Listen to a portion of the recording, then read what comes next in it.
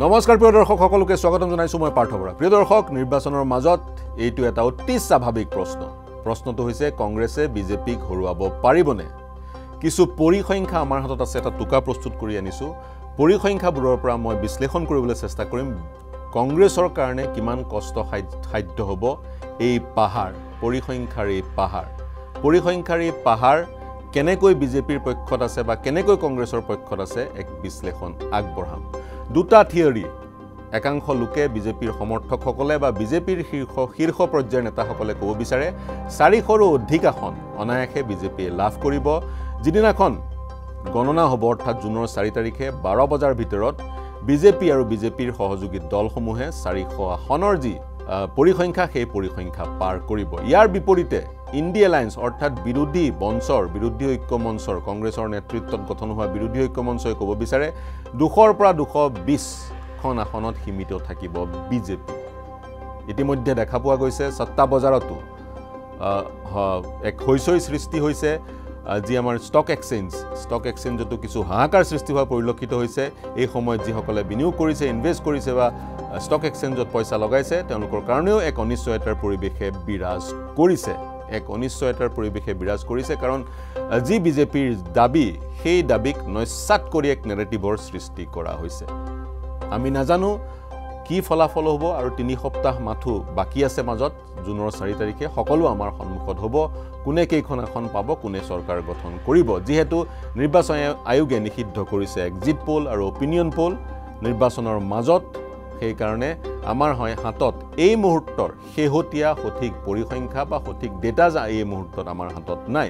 কিন্তু আমাৰ হাতত আছে এক পৰিসংখ্যা পৰিসংখ্যাৰ বিশ্লেষণ দুহেজাৰ চৈধ্য আৰু দুহেজাৰ ঊনৈছৰ নিৰ্বাচনৰ। আৰু এই পৰিসংখ্যাৰ পৰা কংগ্ৰেছৰ মমেণ্টাম কি ধৰণে আগবাঢ়িছে কি ধৰণৰ মমেণ্টাম কংগ্ৰেছে গেইন কৰিছে কি ধৰণৰ বিজে মমেণ্টাম বিজেপিয়ে গেইন কৰিছে সেই কথাৰ বিশ্লেষণ আগবঢ়াব পৰাৰ এক পৰাৰ পৰাৰ পৰিস্থিতিত আমি উপনীত হৈছোঁ। কেৱল কেৱল মাত্ৰ আমি পৰিসংখ্যাৰ বিশ্লেষণ কৰিব বিচাৰিছোঁ। বহু লোক বহু সাংবাদিক বহু বুদ্ধিজীৱী ইতিমধ্যে ৰাইজৰ মাজলৈ গৈছে ৰাইজৰ সৈতে কথা পাতিছে। বহুকেইজন বুদ্ধিজীৱীয়ে ক'ব বিচাৰিছে বিগত দুটা নিৰ্বাচনত দুহেজাৰ চৈধ্য আৰু দুহেজাৰ ঊনৈছ চনত যিসকল লোকে দুবাৰকৈ কংগ্ৰেছত ভোট দিছিলে ভোট দিছিলে তেওঁলোকৰ বুজন সংখ্যক লোকে এইবাৰ কংগ্ৰেছক ভোট নিদিয়ে অৰ্থাৎ মোহভংগ হৈছে। কিন্তু তেওঁলোকৰ যি এক মোহভংগ হোৱাৰ এক ধাৰণা সেই ধাৰণাটো ফলাফলত প্ৰতিফলিত হ'বনে নাই সেই কথা আমি এই মুহূৰ্তত ক'ব নোৱাৰোঁ। কিন্তু দুশ চৌব্বিছ এটা পৰিসংখ্যা টু টুৱেণ্টি ফ'ৰ এই পৰিসংখ্যাটো এই মুহূৰ্তত যথেষ্ট গুৰুত্বপূৰ্ণ।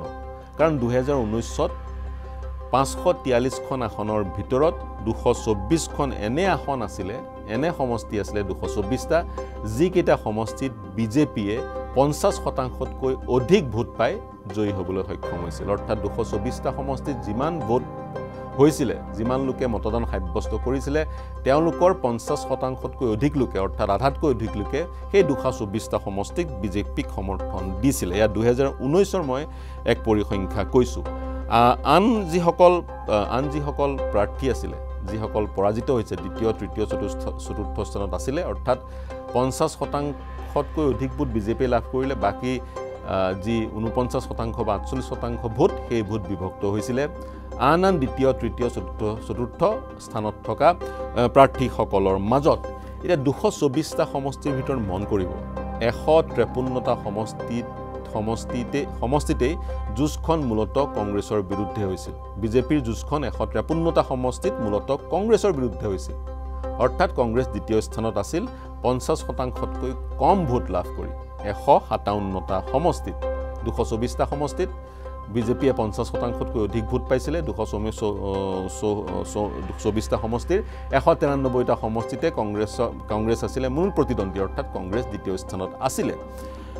আৰু বাকী যিকেইটা সমষ্টিত কং বিজেপিয়ে পঞ্চাছ শতাংশতকৈ অধিক ভোট পাইছিলে দুশ চৌবিছটা সমষ্টিৰ ভিতৰত দ্বিতীয় স্থানত আছিলে এছ পি বিছটা সমষ্টিত বি এছ পি ষোল্লটা সমষ্টিত দ্বিতীয় স্থানত আছিলে বিহাৰত আৰ জে ডি ছটা সমষ্টিত দ্বিতীয় স্থানত আছিলে পশ্চিমবংগত পাঁচটা সমষ্টিত অল ইণ্ডিয়া তৃণমূল কংগ্ৰেছ দ্বিতীয়টা দ্বিতীয় স্থানত আছিলে।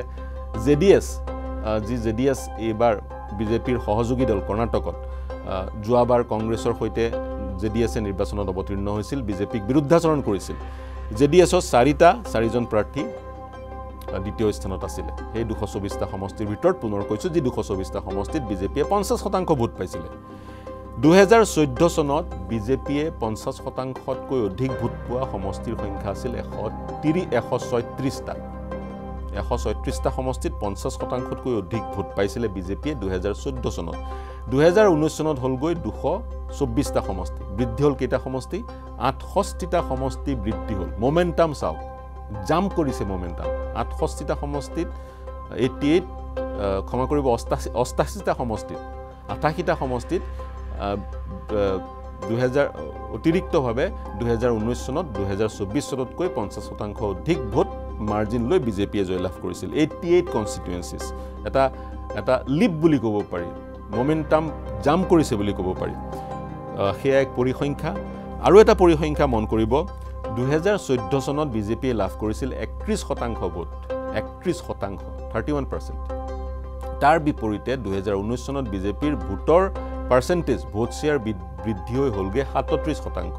কিমান বৃদ্ধি হ'ল? ছয় শতাংশ। ভাৰতবৰ্ষ সদৃশ এখন দেশ যিখন দেশত এইবাৰ প্ৰায় ছিয়ান্নব্বৈ কোটি লোকে মতদান সাব্যস্ত কৰিব যোৱাবাৰ প্ৰায় নব্বৈ কোটি লোকে মতদান সাব্যস্ত কৰিছিলে। তেনে এখন দেশত দুহেজাৰ চৈধ্যটোত সেই অনুৰূপ ধৰণে প্ৰায় পঁচাশী বিৰাশী কোটি লোকে মতদান সাব্যস্ত কৰিছিল। তেনে এখন দেশত ছয় পাৰ্চেণ্ট অতিৰিক্ত ভোট শ্বেয়াৰ লাভ কৰাটো হৈছে ডাঙৰ কথা। হিউজ এটা মাৰ্জিন হিউজ ফিগাৰ এটা। কিন্তু মন কৰিব দুহেজাৰ চৈধ্য চনত বিজেপিয়ে দুশ বিৰাশীখন আসন লাভ কৰিছিলে। দুহেজাৰ ঊনৈছ চনত তিনিশ তিনিখন আসন লাভ কৰিছিলে। ছয় পাৰ্চেণ্ট ভোট বাঢ়িল হয় ঠিকেই। কিন্তু সাংসদৰ সংখ্যা বাঢ়িলগৈ মাত্ৰ একৈছজন এইফালে ছয় শতাংশ বৃদ্ধি পালে ভোট শ্বেয়াৰ কিন্তু এইফালে সাংসদৰ সংখ্যা বৃদ্ধি পালে একৈছজন গতিকে কথাটো কি?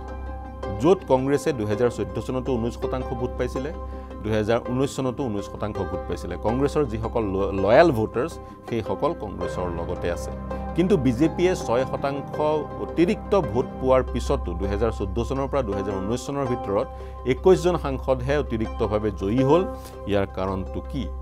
পৰিসংখ্যা বিজ্ঞানৰ পৰা যদি বিশ্লেষণ কৰে ডেটা ছায়েন্সৰ পৰা যদি আপুনি বিশ্লেষণ কৰে ইয়াৰ অৰ্থটো হৈছে যিবোৰ সমষ্টিত বিজেপি শক্তিশালী সেই যি দুশ চৌবিছটা সমষ্টিৰ কথা ক'লোঁ যি যিকেইটা সমষ্টিত বিজেপিৰ প্ৰাৰ্থীগৰাকীয়ে পঞ্চাছ শতাংশতকৈ অধিক ভোট পালে সেইকেইটা সমষ্টিতে বিজেপিৰ ভোট শ্বেয়াৰ বৃদ্ধি হ'ল।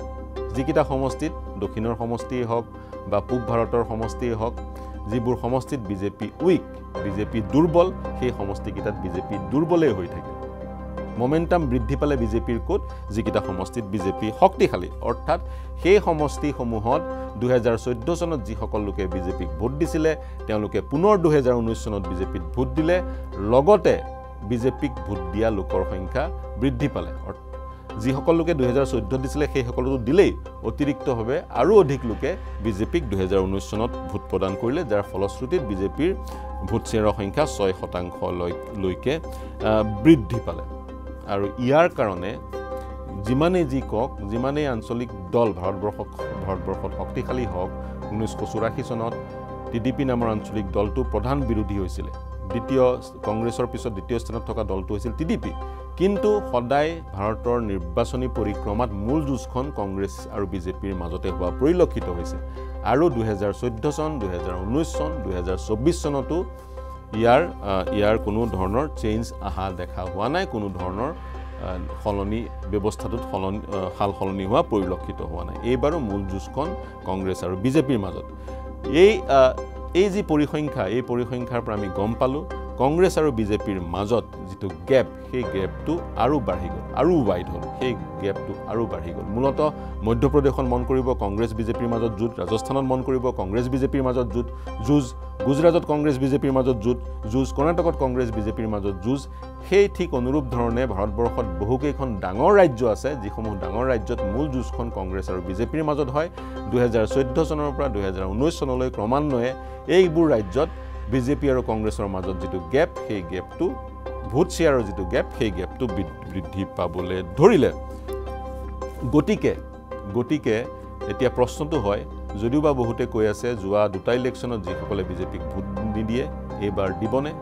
একাংশই নিদিলেও বিজেপিৰ যি ঊৰ্ধমুখী যাত্ৰা মূলতঃ সেইসমূহ ৰাজ্যত যিসমূহ ৰাজ্যত বিজেপি ষ্ট্ৰং একাংশই ছাবষ্টেঞ্চিয়েল ফিগাৰ এটাই যদিও বিজেপিক ভোট নিদিয়ে কিন্তু এই পৰিসংখ্যাৰ পাহাৰটো বগৰাব কংগ্ৰেছে পাৰিবনে?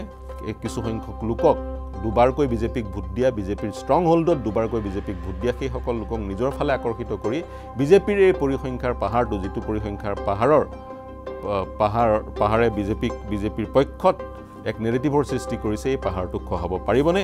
এই মুহূৰ্তৰ এইটো হৈছে ডাঙৰ প্ৰশ্ন। এতিয়া আহোঁ মাৰ্জিনলৈ চাওঁ আহক। মাৰ্জিনৰ কিছু পৰিসংখ্যা আগবঢ়াব বিচাৰিছোঁ। দুহেজাৰ ঊনৈছ চনৰ কথালৈ আহোঁ। তিনি লাখ ভোটৰ ব্যৱধানত বিজেপি জয় হৈছিল কেইটা সমষ্টিত? এশ পাঁচটা সমষ্টিত। তিনি লাখ হৈছে বৃহৎ এক ব্যৱধান। যদি গড় হিচাপত এটা সমষ্টিত আমি ধৰি লওঁ পোন্ধৰ লাখ ভোটাৰ আছে তাৰে দহ লাখে মতদান সাব্যস্ত কৰিলে ধৰি ল'লোঁ দহ লাখে মতদান সাব্যস্ত কৰিলে আৰু ধৰি ল'লোঁ সেইটো সমষ্টিত ওঠৰ বিছজন প্ৰাৰ্থী আছে পোন্ধৰৰ পৰা বিছজন প্ৰাৰ্থী আছে। তেনেধৰণৰ মাল্টি পাৰ্টি এটা ছিষ্টেমত তিনি লাখ ভোটৰ ব্যৱধানত এজন প্ৰাৰ্থী জয়ী জয়ী হোৱাটো ডাঙৰ কথা। দুহেজাৰ ঊনৈছ চনত তিনি লাখ ভোটৰ ব্যৱধানত জয়ী হৈছিলে এশ একত্ৰিছজন প্ৰাৰ্থী। এশ একত্ৰিছজন ওৱান থাৰ্টি ওৱান। আৰু ইয়াৰ ভিতৰত তিনি লাখ ভোটৰ ব্যৱধানত জয়ী হোৱা বিজেপিৰ নেতাৰ সংখ্যা বিজেপিৰ প্ৰাৰ্থীৰ সংখ্যা হৈছে ওৱান জিৰ' ফাইভ এশ পাঁচ। এশ পাঁচ। আৰু এই এশ পাঁচজন বিজেপিৰ সাংসদ তিনি লাখ ভোটৰ ব্যৱধানত জয়ী হৈছে সেইবোৰ সমষ্টিৰ পৰা যিবোৰ সমষ্টিত বিজেপি দুহেজাৰ চৈধ্য চনতো শক্তিশালী আছিল বা তাৰ আগতেও শক্তিশালী আছিলে। এতিয়া মন কৰিব দুই লাখ দুই লাখৰ ব্যৱধানত দুহেজাৰ ঊনৈছ চনত জয়ী হৈছিল যিকোনো দলৰ পৰা দুশ ছয়ত্ৰিছজন প্ৰাৰ্থী। দুই লাখৰ ব্যৱধানৰ ক্ৰম ব্যৱধান নহয়। তাৰে ভিতৰত বিজেপি জয়ী হৈছিল এশ চৌষষ্ঠিটা সমষ্টিৰ পৰা। এশ চৌষষ্ঠিটা সমষ্টিৰ পৰা বিজেপি জয়ী হৈছিল আৰু সেই এশ চৌষষ্ঠিটা সমষ্টিৰ ভিতৰত দুই লাখৰ ব্যৱধানত বিজেপি জয়ী হোৱা এশ চৌষষ্ঠিটা সমষ্টিৰ ভিতৰত এশ চৈধ্যটা সমষ্টিতে মূল যুঁজখন কংগ্ৰেছৰ বিৰুদ্ধে আছিল। অৰ্থাৎ দ্বিতীয় স্থানত কংগ্ৰেছ আছিল সেই এশ চৈধ্যটা সমষ্টিত। অৰ্থাৎ কংগ্ৰেছ আৰু বিজেপিৰ মাজত বিজেপি য'ত য'ত শক্তিশালী সেইবোৰ সমষ্টিত যি গেপ ব্যৱধান সেই ব্যৱধান বাঢ়ি গৈয়ে থাকিলে। পাঁচ লাখৰ ব্যৱধান পাঁচ লাখৰ ব্যৱধানত জয়ী হোৱা যিকোনো দলৰ পৰা জয়ী হোৱা প্ৰাৰ্থী দুহেজাৰ ঊনৈছ চনত আছিল সোতৰজন। তাৰে আকৌ পোন্ধৰজনেই বিজেপিৰ। দুহেজাৰ ঊনৈছ চনত পাঁচ লাখ ভোটৰ ব্যৱধানত বিজেপিৰ পোন্ধৰজন সাংসদ জয়ী হৈছিলে আৰু তেওঁলোকে পৰাভূত কৰিছিলে পোন্ধৰজনৰ তেৰজনৰে মূল যুঁজখন কংগ্ৰেছৰ বিৰুদ্ধে হৈছিল। অৰ্থাৎ পাঁচ লাখ ব্যৱধানত জয়ী হোৱা পোন্ধৰজন সাংসদ বিজেপিৰ সাংসদৰ প্ৰাৰ্থীৰ তেৰজনৰ তেৰজনেই পৰাভূত কৰিছিল কংগ্ৰেছক অৰ্থাৎ কংগ্ৰেছ দ্বিতীয় স্থানত আছিল। অৰ্থাৎ কংগ্ৰেছে পাঁচ লাখ কম ভোট পাই দ্বিতীয় স্থানত আছিল। গেপটো বাঢ়ি গৈছে গৈ আছে। দুহেজাৰ চৈধ্যৰ মমেণ্টাম যি মমেণ্টাম আছিল সেই মমেণ্টামত মমেণ্টামতকৈ আৰু অতিৰিক্ত মমেণ্টাম বিজেপিয়ে গেইন কৰিছে। সেইধৰণে বিষয়বোৰ আগবাঢ়িছে। চাৰি লাখৰ পৰা পাঁচ লাখৰ ব্যৱধানত দুহেজাৰ ঊনৈছ চনত ঊনত্ৰিছখন আসনত জয়ী হৈছিল বিজেপি। তাৰে ঊনৈছখনতে বিজেপিয়ে পৰাভূত কৰিছিল কংগ্ৰেছত। ছয় লাখৰ মাৰ্জিনত পাঁচখন আসন পাঁচ পাঁচজন পাঁচজন বিজেপিৰ সাংসদ জয়ী হৈছিলে আৰু গোটেইকেইজনে কংগ্ৰেছক পৰাভূত কৰিছিলে। গেপ পুনৰ বাঢ়ি গৈছে। ৰাজ্যৰ ভিত্তিত যদি পৰিসংখ্যাটো মই দিওঁ দুহেজাৰ চৈধ্য আৰু দুহেজাৰ ঊনৈছ চনৰ তুলনাত দুহেজাৰ চৈধ্য আৰু ঊনৈছ চনৰ দুহেজাৰ চৈধ্য আৰু ঊনৈছ দুহেজাৰ ঊনৈছ চনৰ ফলাফলক তুলনা কৰি হাৰিয়ানাত পঞ্চাছ শতাংশতকৈ অধিক ভোট পাই জয়ী হোৱা বিজেপিৰ সাংসদ আছিল দুজন দুহেজাৰ চৈধ্য চনত আছিল দুজন দুহেজাৰ ঊনৈছ চনত হ'লগৈ নজন। গুজৰাটত ছাব্বিছজন দুহেজাৰ চৈধ্য চনত জয়ী হৈছিলে। সকলোৱে পঞ্চাছ শতাংশতকৈ অধিক ভোট পাইছিলে। দুহেজাৰ অৰ্থাৎ দুহেজাৰ চৈধ্য চনত বিজেপিৰ গুজৰাটৰ পৰা ছাব্বিছজন সাংসদ জয়ী হৈ আহিছিল আৰু সকলোৱে পঞ্চাছ শতাংশতকৈ অধিক ভোট পাইছিলে। দুহেজাৰ ঊনৈছ চনত পুনৰ ছাব্বিছজন সাংসদ জয়ী হৈ আহিল আৰু সকলোৱে পঞ্চাছ শতাংশতকৈ অধিক ভোট লাভ কৰিবলৈ সক্ষম হ'ল।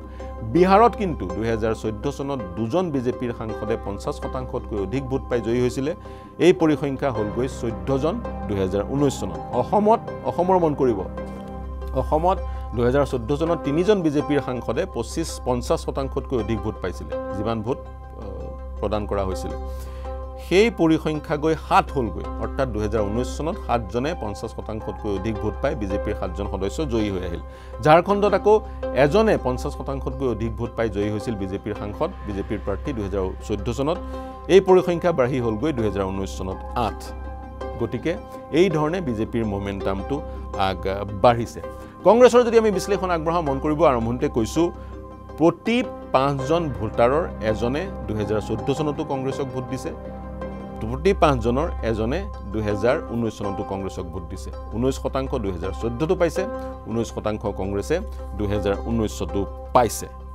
কংগ্ৰেছৰ অৰ্থাৎ যি লয়েল ভোট যিসকল লোকে পৰম্পৰাগতভাৱে কংগ্ৰেছক মতদান কৰি আহিছে তেওঁলোকৰ মাজত চেঞ্জেছ অহা নাই পৰিৱৰ্তন মনৰ পৰিৱৰ্তন হোৱা নাই তেওঁলোকে কংগ্ৰেছকে ভোট দি আহিছে। কিন্তু সমস্যাটো ক'ত কংগ্ৰেছৰ কাৰণে? সমস্যাটো হৈছে ভিক্টৰী মাৰ্জিনত ঊনৈছশ দুহেজাৰ চৈধ্য চনত কংগ্ৰেছৰ কেইখন আসন কংগ্ৰেছ জয়ী হৈছিল? চৌৰাল্লিছখন আসন। দুহেজাৰ ঊনৈছ চনত কংগ্ৰেছ জয়ী হৈছিল বাৱন্নখন আসনত। কিন্তু যদিও আসনৰ সংখ্যা বাঢ়িলে আসনৰ সংখ্যা যদিও বাঢ়িলে দুহেজাৰ চৈধ্য চনত এই জয়ী হোৱা আসনসমূহত কংগ্ৰেছৰ ভিক্টৰী মাৰ্জিন আছিলে থাৰ্টিন পাৰ্চেণ্ট। অৰ্থাৎ দুহেজাৰ চৈধ্য চনত চৌৰাল্লিছখন আসনত যিকেইখনত কংগ্ৰেছ জয়ী হৈছিল পৰাভূত কৰা প্ৰাৰ্থীজনতকৈ চৈধ্য শতাংশ অধিক ভোট পাই কংগ্ৰেছৰ প্ৰাৰ্থীজন জয়ী হৈছিল। কিন্তু দুহেজাৰ ঊনৈছ চনৰ যি বাৱন্নখন আসনত কংগ্ৰেছ জয়ী হৈছিলে ভিক্টৰী মাৰ্জিন যি ভোটৰ ব্যৱধান আঠ শতাংশলৈ এইট পইণ্ট ছিক্স পাৰ্চেণ্টলৈ হ্ৰাস পালে। ভিক্টৰী মাৰ্জিন হ্ৰাস পালে। বিজেপি বিজেপিৰ ভিক্টৰী মাৰ্জিন বৃদ্ধি পাইছে ভোটৰ ব্যৱধান বৃদ্ধি পাইছে কংগ্ৰেছৰ বিজেপি যিসমূহ আসনত জয়ী হৈছিল সেইসমূহ আসনত বিজেপিৰ ভোটৰ ব্যৱধান বৃদ্ধি পাইছে কিন্তু কংগ্ৰেছৰ ভোটৰ ব্যৱধান সংকুচিত হৈছে। গতিকে এয়াই আছিল পৰিসংখ্যা।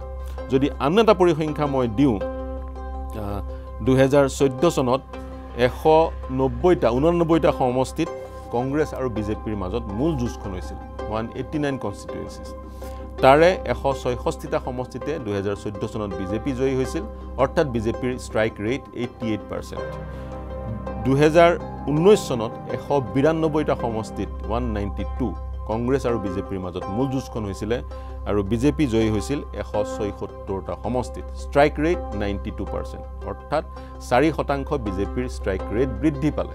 অৰ্থাৎ বিজেপি য'ত জয়ী হৈছে পুনৰ মই কৈছোঁ পইণ্টটো হৈছে ডেটা চায়েন্সে কয় বিজেপিৰ জয়ৰ যি ব্যৱধান ব্যৱধান বৃদ্ধি হৈ গৈ আছে। পৰিসংখ্যাৰ পৰিসংখ্যাই এইখিনি কথা পৰিসংখ্যাৰ ভিত্তিত আমি এইখিনি কথা বিশ্লেষণ কৰিব পৰা পৰিস্থিতিত উদ্ভৱ হৈছোঁ এই মুহূৰ্তত আছোঁ। আৰু কিছুদিন অপেক্ষা কৰিলে আমি ফলাফল গম পাম কিন্তু পৰিসংখ্যাই এনেদৰে বিশ্লেষণবোৰ আগবঢ়ায়। গতিকে আমি কোৱা নাই মনৰ পৰিৱৰ্তন মানুহৰ নহ'ব পাৰে। বিগত সময়তো আমি ৰাজনৈতিক ঢৌ পৰিলক্ষিত কৰিছিলোঁ। সেই ঢৌত সেই ঢৌ ঢৌত ৰাজনৈতিক দলে বৈত ৰাজনৈতিক দলে নিৰ্বাচনী বৈতৰণি পাৰ কৰা পৰিলক্ষিত হৈছিলে। দুহেজাৰ চৈধ্য চনত যদি মোদীৰ ঢৌ ভাৰতবৰ্ষত বলিছিল সেই ঢৌ ঢৌৰ বুকুচাত উঠি বিজেপিয়ে দুশ বাসত বিৰাশীখন আসন লাভ কৰি চৰকাৰ গঠন কৰিছিল। গতিকে শাসক দলৰ বিৰুদ্ধে ৰাজনৈতিক ঢৌ যে নবল বলিব নোৱাৰে সেই কথা এই মুহূৰ্তত কৈ দিব পৰা নাযায়। এনেকুৱাও হ'ব পাৰে মোহভংগও হ'ব পাৰে বহু লোকৰ আৰু সেই মোহভংগ হোৱাৰ ফলত বহু লোকে শাসক দলটোক প্ৰত্যাখ্যান কৰি আন দলকো ভোট প্ৰদান কৰিব পাৰে। এনেধৰণৰ এনেধৰণ এনেধৰণৰ পৰিঘটনা ৰাজনৈতিক পৰিঘটনা আমি বিগত সময়তো দেখিছিলোঁ আৰু অনাগত সময়ত হোৱাৰ সম্ভাৱনা থাকিবও পাৰে। কিন্তু যি এক এই পৰিসংখ্যাৰ পাহাৰ পৰিসংখ্যাৰ পাহাৰ যি পাহাৰে যিটো পাহাৰ বিজেপিৰ পক্ষত আছে সেই পাহাৰটো বগোৱা কংগ্ৰেছৰ কাৰণে কিমান সহজ হ'ব বা কিমান জটিল হ'ব এই মুহূৰ্তত এই প্ৰশ্নটোৱে প্ৰাসংগিক? বা কংগ্ৰেছে নিজৰ মেনিফেষ্টোৰ যোগেদি সংকল্প পত্ৰৰ যোগেদি ন্যায় পত্ৰৰ যোগেদি কি এনে কিছু কথা কৈছে যিবোৰ কথাই এনেভাৱে ৰাইজক আকৰ্ষিত কৰিছে যাতে তেওঁলোকে যোৱা দুটা নিৰ্বাচনত বিজেপিক ভোট দিলেও এইবাৰ সিদ্ধান্ত গ্ৰহণ কৰিছে কংগ্ৰেছক ভোট দিব বুলি? এইটো এটা প্ৰাসংগিক প্ৰশ্ন। পৰিসংখ্যাৰ বিশ্লেষণ আগবঢ়ালোঁ। আমি নাজানো ফলাফল কি হ'ব কিন্তু এইটোৱেই হৈছে শেহতীয়া পৰিসংখ্যা দুহেজাৰ চৈধ্য আৰু দুহেজাৰ ঊনৈছৰ। পৰিসংখ্যাৰ ভিত্তিত বিশ্লেষণ আগবঢ়ালোঁ। আপোনাৰ মতামত কি? আপুনি কেনেদৰে গোটেই প্ৰক্ৰিয়াটো বিশ্লেষণ কৰে? এই পৰিসংখ্যাসমূহ গুগলত উপলব্ধ। আপোনালোকে এই পৰিসংখ্যাসমূহ পঢ়িব পাৰে মন্তব্য কৰিব পাৰে। আমাৰ সৈতে ইউটিউব চেনেল আৰু ফেচবুক পেজৰ যোগে ফেচবুক পেজৰ যোগেদি আমাৰ সৈতে সংযোগ স্থাপন কৰিব পাৰে। আমাৰ সৈতে সংযুক্ত হ'ব পাৰে আৰু সেই ফেচবুক আৰু ইউটিউবৰ কমেণ্ট ছেকশ্যনত আপোনালোকৰ মন্তব্য আগবঢ়াব পাৰে। মন্তব্য কৰি থাকিব। মন্তব্য আপোনালোকৰ মন্তব্য আমাৰ কাৰণে চালিকা শক্তি। কেৱল এই বিশ্লেষণেই নহয় দেশ ৰাজ্য বিশ্বৰ সকলো বা বাতৰিৰ বাবে চাই থাকিব। News eighteen Assam north east ধন্যবাদ।